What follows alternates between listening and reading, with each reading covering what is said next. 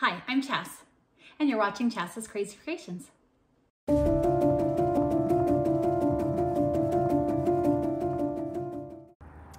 For this project, you're going to need a pool noodle, a pumpkin pail, a broom handle, some lights, and a bow.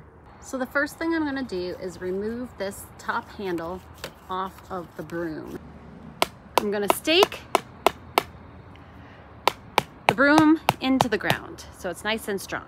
I'm gonna take gaffer's tape and wrap it around the pool noodle.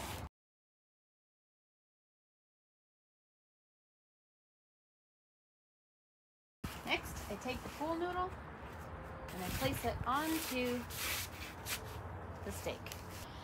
Next, I'm gonna take a cool glue gun, add some hot glue to the top. And the reason it needs to be cool glue is so it doesn't melt your pool noodle. So I'm gonna give it a lot like so.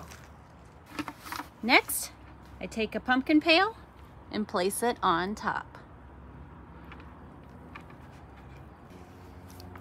Next, I'm gonna place some lights into the top of the pumpkin pail.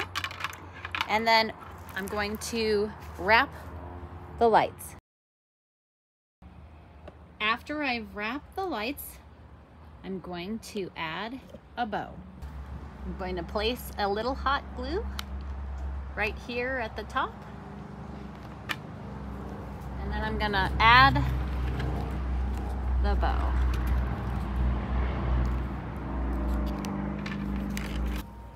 Now to the top, I can take this handle off, but I'm gonna go ahead and leave it. And I'm gonna place a witch hat on the top here. And I'm just gonna secure it by adding a little hot glue to each side, like so.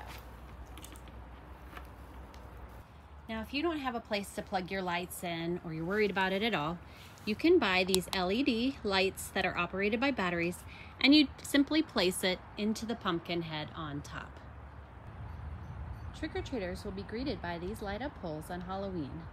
They can walk up the lighted walkway up to my front door where they will be greeted with candy, Charlie Brown rocks, hot apple cider, and glow sticks.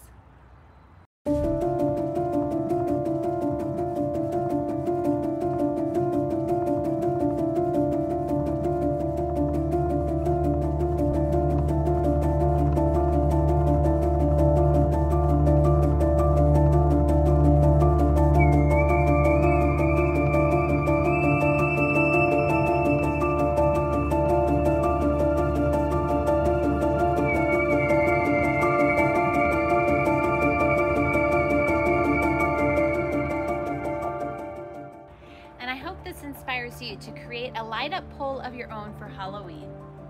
I'd love it if you'd subscribe to my YouTube channel and my blog at chascrazycreations.com. Thanks for watching, and I'll see you in my next video. And don't forget to like, share, and subscribe.